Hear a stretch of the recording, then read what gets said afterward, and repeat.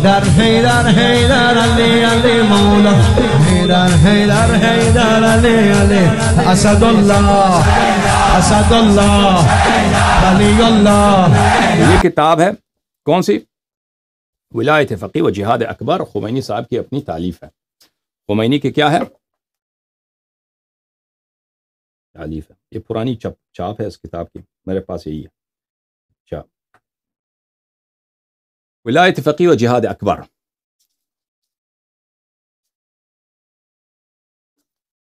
یہ اردو زبان میں بھی اس کا ترجمہ بھی ہو چکا ہے اور ایک پی ڈی ایف ورژن اس کا میرے پاس ہے، لیکن یہ جو ہے فارسی میں، یہ نجف اشرف میں اس کے دروس تھے ولایت فقی کے عنوان پر، اسی کو فارسی زبان میں چھپا گیا۔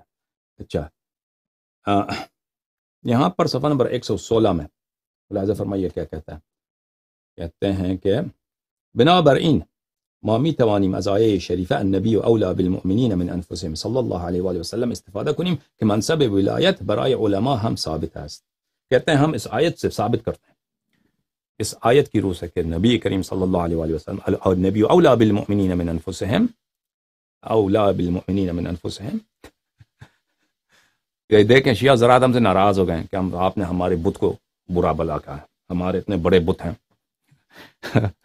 खुमैनी साहब, खामनी साहब, ठीक है ना? अब मैं क्या करूँ? आप, आपके बुत हैं। भाई, मेरे बुत नहीं है।